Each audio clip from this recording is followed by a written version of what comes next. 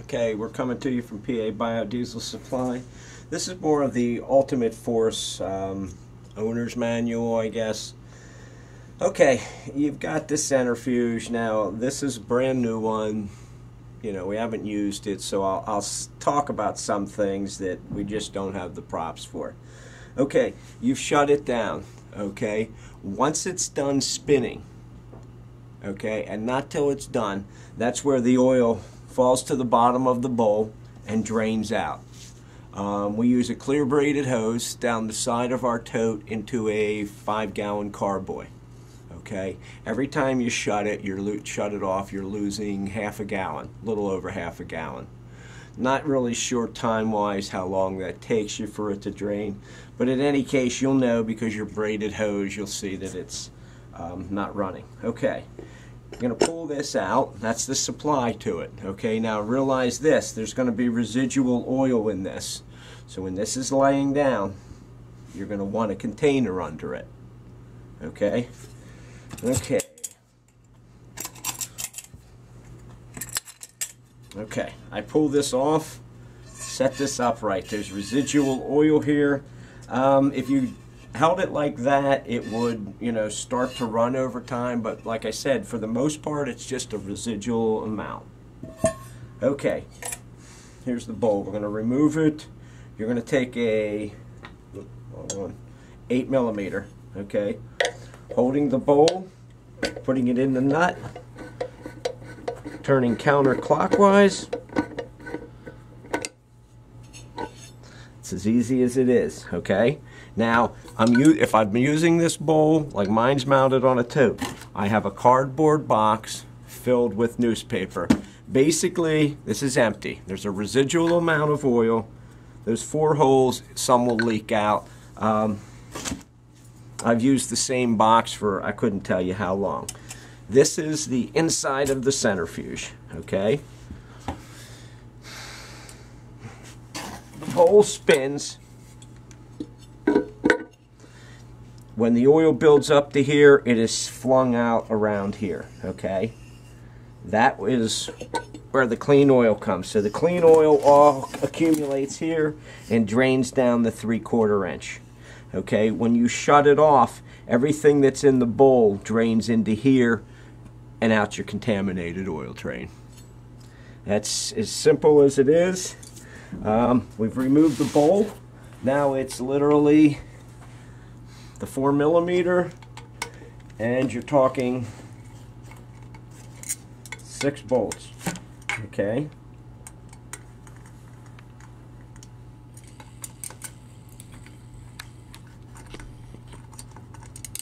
I um, after every tote of oil I clean the uh, the bowl. I suspect you could probably and, and honestly I couldn't tell you how much you can run Again, oil is always the variable. Okay, if you ask someone who's selling equipment, well, how fast can I run and uh, and they tell you, you need to ask them, how do you know? You don't know how how dirty my oil is or how much water that is in it. Think about it. There's two or three percent, or there's 20 percent of water. You're telling me it's all going to be removed at the same speed it, it, it doesn't work that way, people. Okay, we have a locking lid.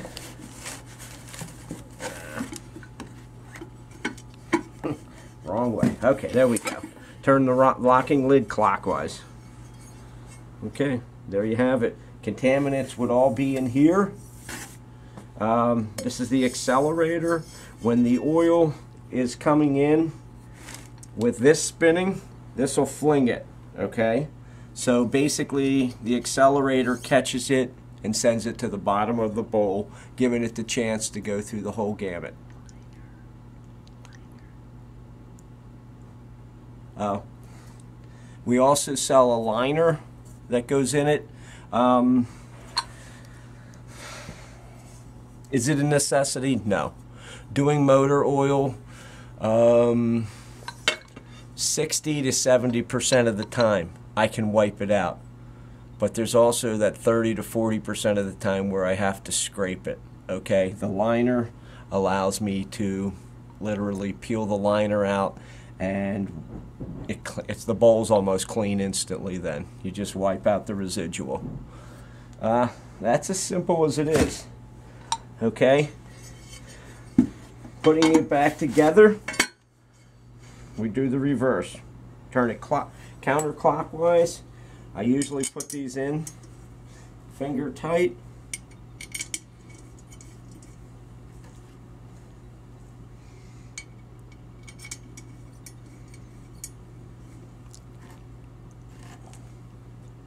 Well, picking them up seems to be a problem though.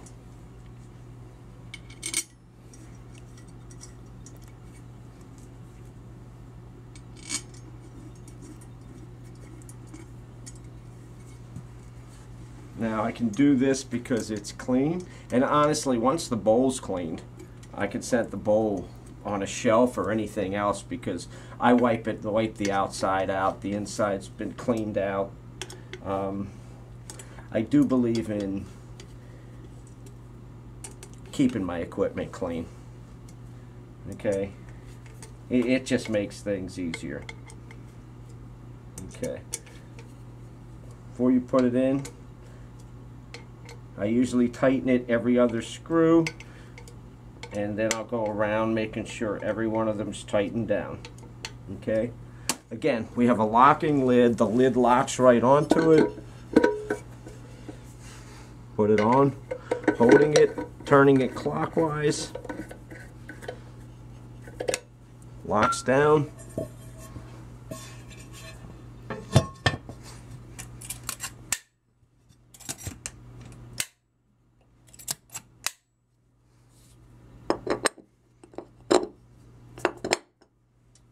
There you go. You're pretty much ready to clean more oil.